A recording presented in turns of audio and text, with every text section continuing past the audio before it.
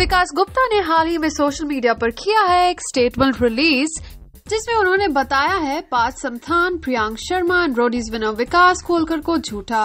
last year Vikas came out as bisexual अपनी recent post में Vikas reveal that he was constantly being pushed around, blackmailed, wrongly accused.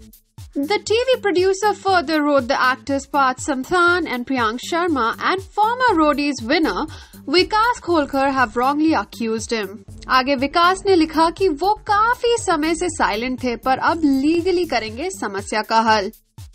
विकास ने and में लिखा both personally and professionally it becomes imperative for me to take measure for this to stop आपको बता दें Parth Samthaan in the past accused Vikas Gupta of molestation and non-payment of dues.